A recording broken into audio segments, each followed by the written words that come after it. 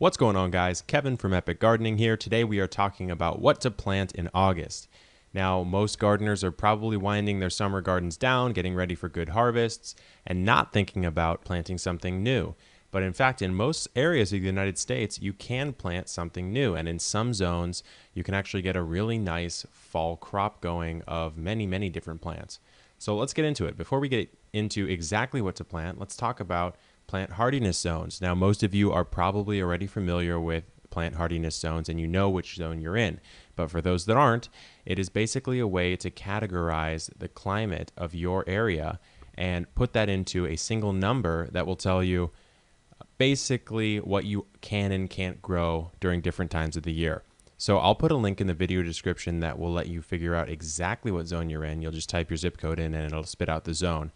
But for now, let's hop into every single zone. So I've got zone 3 to zone 10 because those are the common zones in the United States. Let's start out with zone 3.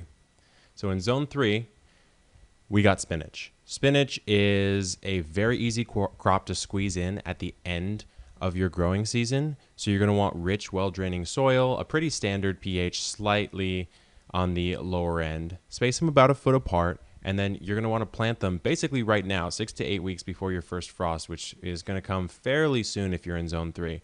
Obviously, most people already are familiar with spinach, but it's a fantastic crop. It grows very quickly and it is a big, big producer.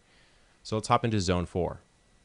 In zone four, this is a cool plant. I, this is something I wasn't very familiar with before I started researching. Uh, it's called corn salad or mache. I hope I'm pronouncing that right. And apparently, there are over 60 varieties that all grow uh, really delicious, fresh greens. So again, this is very similar to spinach. You'll want to plant it in rich, rich well-draining soil, 6.5 to 7 pH, this time 6 inches apart. Uh, the one tip though is that it is a slow germinator at 10 to 14 days. So if you want to put this into your fall harvest, then you're going to want to plant it basically right now because again, that first frost in zone four will be coming up shortly.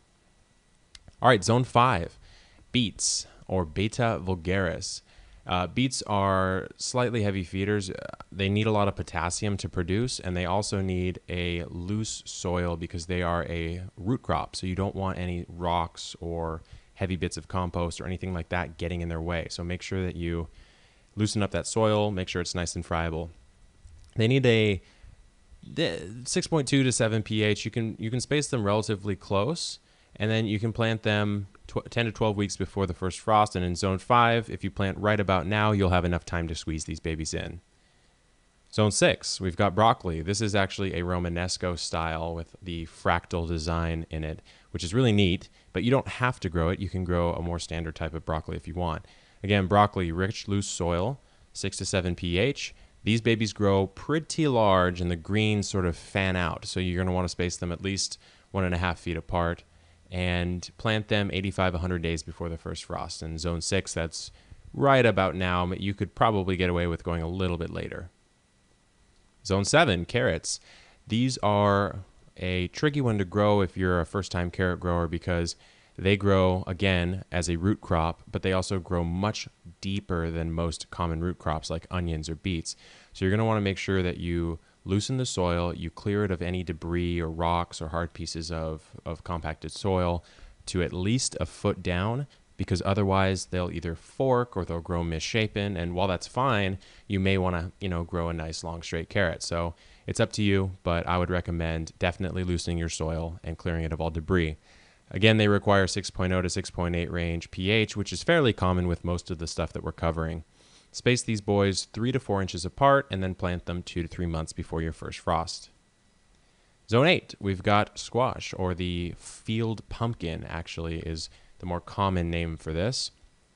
These guys grow in a hill. You plant usually two to three seeds per hill. Get them in the ground early August in Zone 8, and you'll have a nice harvest right around Halloween time, if not a little before, a little later, depends on your region specifically. They need, again, a relatively common pH of 6.0 to 6.5, and you're going to want to space each hill about two to three feet apart. On to zone 9. So you can still grow cherry tomatoes in the fall in zone 9 because effectively the fall is just a bit cooler summer in zone 9. So these guys give them a lot of nutrients in the soil, make sure that it's nice and moist, keep that pH in the standard range. They'll harvest, they'll start flowering from seedlings in about a month or so, and then they'll they'll start uh, popping out fruits about two months from then, and then you can just keep harvesting it until the frost date comes along and you move into real winter in zone 9.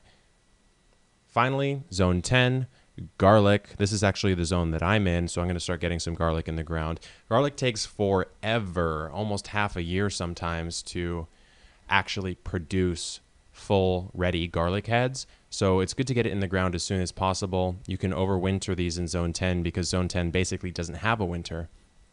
So keep them in well draining soil, make sure that it's cool.